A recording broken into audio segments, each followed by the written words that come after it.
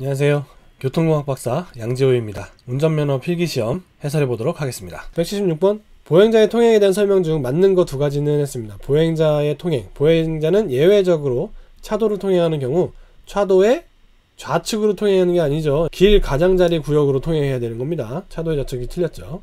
보행자는 사회적으로 중요한 행사에 따라 행진 시에는 도로의 중앙으로 통행할 수 있습니다. 행렬의 통행이죠. 그 다음에 도로 횡단 시설을 이용할 수 없는 지체장애인은 도로 횡단 시설을 이용하지 않고 도로를 횡단할 수 있습니다. 네. 요건 이제 도로 횡단 시설이 설치되어 있지 않은 경우 가장 짧은 거리로 이행을 할 수 있게 되어 있죠. 도로 횡단 시설이 없는 경우 보행자는 안전을 위해서 가장 긴 거리로 도로를 돼. 가장 짧은 거리로 이행하게 되어 있죠. 답이 맞는 거 찾으러 했으니까요. 2번과 3번이 되겠습니다.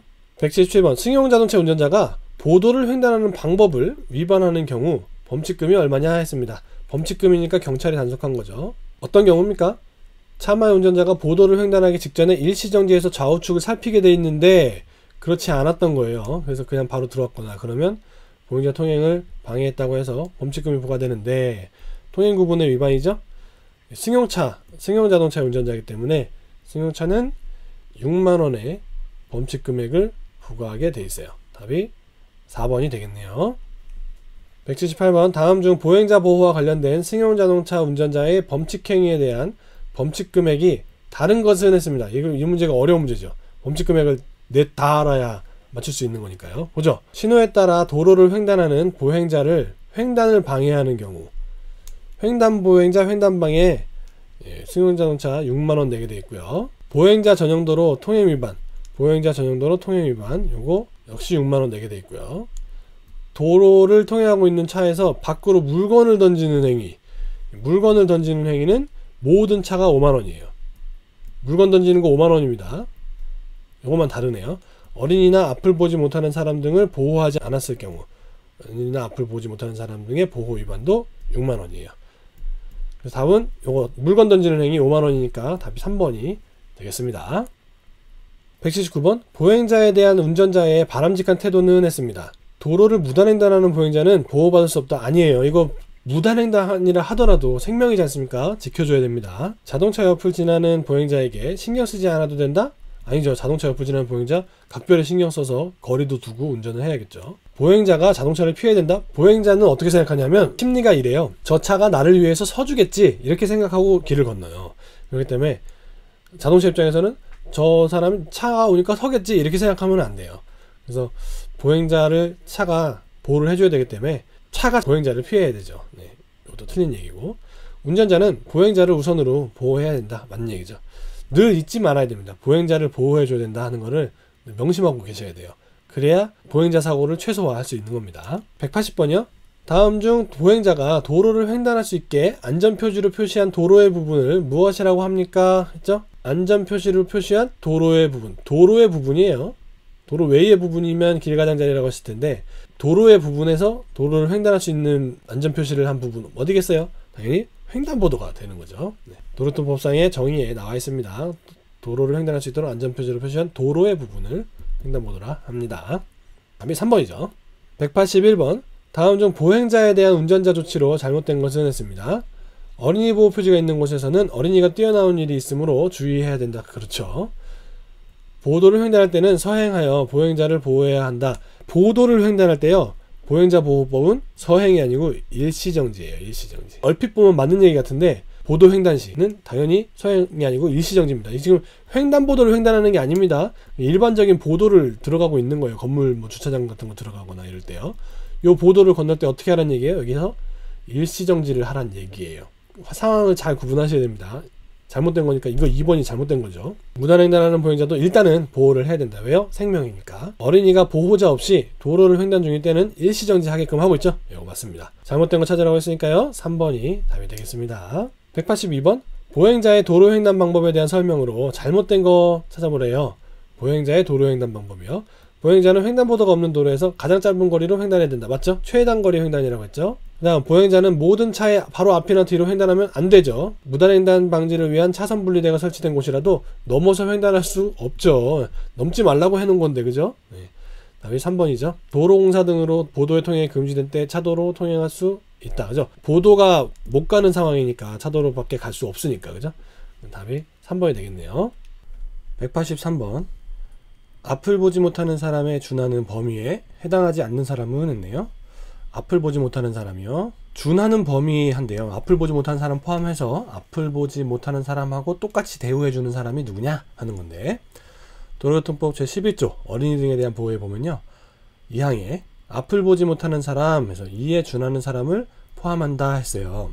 그런 사람들은 이제 안내하는 개 데리고 다니도록 해야 되는 그 조항인데 요 이에 준하는 사람이 누구냐 이게 궁금하죠? 도로교통법 시행령에 보면 앞을 보지 못하는 사람에 준하는 사람의 범위를 정하고 있는데 뭐 보면 첫 번째로 듣지 못하는 사람, 두 번째로 신체의 평형 기능에 장애가 있는 사람, 세 번째로 의족 등을 사용하지 아니하고는 보행을 할 수 없는 사람이 예, 앞을 보지 못하는 사람에 준하는 사람이에요. 그래서 요 세 가지의 범위에 속하지 않는 사람이 누구냐 하는 거죠. 보면 어린이 또는 영유아는 나와 있지 않죠. 예. 답이 1번이네요. 보면 의족 등을 사용하지 아니하고는 보행할 수 없는 사람 요 세 번째 조항이 있고요. 신체의 평형 기능에 장애가 있는 사람, 제대로 서 있을 수 없는 사람 얘기하는 거죠. 여기요. 그다음에 듣지 못하는 사람, 청각 장애인 얘기하는 겁니다. 듣지 못하는 사람도 앞으로 오지 못하는 사람의 범위에 포함이 되어 있습니다. 그래서 이 문제의 답은 1번 어린이 또는 영유아와 해당하겠네요. 184번 어린이 보호구역 안에서 몇 시부터 몇 시까지에는 신호 위반을 한 승용차 운전자에 대해서 기존의 벌점을 두 배로 부과한다 했어요. 요 시간 몇 시부터 몇 시까지입니까 하는 거죠. 도로통법 시행규칙 별표 28 운전면허 취소 정지 처분 기준 표가 나오는데 거기 사항에 보면 어린이 보호구역 및 노인장애인 보호구역 안에서 오전 8시부터 오후 8시까지 사이에 속도를 위반하는 거 있죠? 60km 초과 40에서 60초가 신호 및 지시 위반하는 거 그다음에 20에서 40초가 보행자 보호 불이행까지 이 다섯 가지 조항에 해당하는 중에 어느 하나를 행하면은 벌점의 두 배에 해당하는 벌점을 부과하게 되어 있어요. 몇 시부터 몇 시까지요? 오전 8시부터 오후 8시까지. 왜 시간을 이렇게 정했냐면 스쿨존, 또 노인존, 실버존, 그다음에 장애인 보호구역, 핸디캡존 이 세 가지 보호구역에서는 요분들이 보통 활동하는 시간이 8시부터 오후 8시까지거든요. 그래서 요 시간대에서 만약에 요거를 다섯 가지 행위를 위반했다 그러면 두 배로 벌점을 부과하고 있습니다.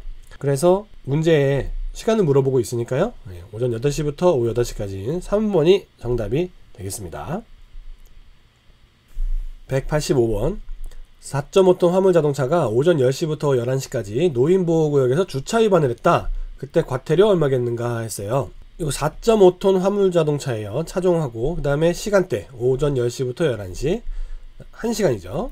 그 다음에 장소가 노인보호구역에서 위반 행위가 주차 위반이네요. 그때 과태료가 얼마냐 하는 거예요. 일단 4.5톤 화물 자동차가 속하는 차종은 이제 승합 자동차 등에 해당을 해요. 그 다음에 시간대가 오전 10시부터 11시까지니까 요거는 1시간 동안 위반을 한 거죠. 시간 1시간대하고 2시간 이상대하고 달라요. 그래서 1시간대 했으면 9만원이고 2시간 이상 넘어가게 되면 10만원을 부과를 받게 되는 거죠. 그 다음에 주차 위반을 한 거니까 주차 위반에 해당하는 위반 행위와 행위자 대상이 되는 거고요. 그때 과태료가 얼마냐 했으니까 과태료를 찾아보면 됩니다. 1번 조항에 해당하겠죠. 승합 자동차고 원래는 9만 원인데 2시간 넘으면 10만 원이죠. 지금 1시간이니까 9만 원에 해당하겠네요. 답이 3번이 되겠습니다. 이런 문제가 쉽지 않죠. 네, 어려운 문제인데 문제의 포인트는 4.5톤 화물차가 승합 자동차 등에 해당한다는 것. 다음에 시간대가 1시간 위반을 했다는 것. 그럼 앞에 거에 해당한다는 거. 그 다음에 위반 행위가 뭐냐? 주차 위반을 하면 얼마냐 하는 거죠. 요거요. 정답은 9만 원 3번이 되겠습니다. 186번 다음 중 보행자의 통행 방법으로 잘못된 것은 했습니다. 이거 문제 많이 나오죠? 네, 벌써 두 번째 해설하고 있는 것 같은데 도로교법 8조 보행자의 통행 방법 보행자는 보도 우측 통행을 원칙으로 합니다. 이거 뭐라고 그랬습니까? 교통운영체계 선진화 방안에 의거해서 시행을 했다고 했죠. 잘못된 거 찾으라고 했네요. 보도에서는 좌측 통행이 아니라 우측 통행이 원칙입니다. 답이 1번입니다. 187번 다음 중 차도를 통행할 수 있는 사람 또는 행렬이 아닌 경우는 차도를 통행할 수 있는 사람 또는 행렬 도로통법 추행령 제7조에 보면요 차도를 통행할 수 있는 사람 또는 행렬 조항이 나오는데 말이나 소 등 큰 동물을 몰고 가는 사람 도로 이용할 수 있습니다 이거 왜냐하면 이거 차마의 정의에서 차 자동차 이런 것들을 구분했는데 이 마에 보면 이게 말하고 소를 말해요. 그래서 이 차마에 정의하면서 차마가 도로 다닐 수 있다고 했잖아요. 마도 즉 말과 소도 도로 다닐 수 있기 때문에 도로 통행이 가능한 겁니다. 그다음에 도로에서 청소나 보수 등의 작업을 하고 계신 분 당연히 도로 이용할 수 있겠죠. 이분이 청소해야 되는데 도로 못 들어가면 안 되잖아요. 네. 그다음 장의 행렬 돌아가신 분들 그 추모하는 행렬들 있죠. 그 장의 행렬은 또 차도를 이용을 할 수가 있어요. 그래서 그 경우가 아닌 걸 찾아보라고 했거든요. 예, 도로에서 유- 청소나 보수 등 작업하고 있는 경우, 말소 등 큰 동물을 몰고 가는 경우, 장의 행렬인 경우 이런 경우들은 차도를 이용할 수 있습니다. 유모차를 끌고 가는 사람 이용할 수 있습니까? 유모차를 끌고 가는 사람은 보행자예요? 차예요? 이거 보행자예요. 왜요? 유모차하고 전동 휠체어 있죠? 네, 보행 보조용 의자차라고 하는 거. 유모차와 보행 보조용 의자차 요거는 보행자로 분류가 돼요. 그래서 보행자는 차도를 통행할 수가 없죠. 어, 그래서 요거 아닌 경우에 해당을 하겠습니다. 답은 3번이 되겠네요.